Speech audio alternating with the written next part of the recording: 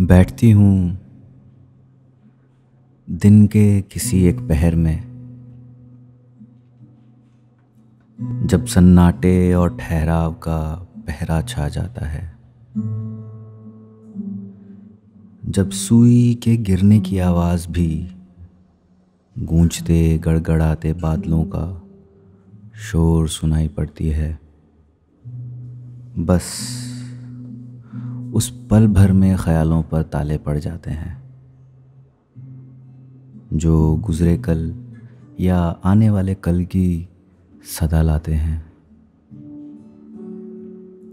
जो कुछ घटता है, वो सब दिखता है। उस पल भर में।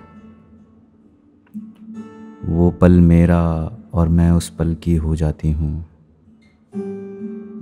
और सांसों के इस आवन जावन में ये इत्मीनान होता है कि मैं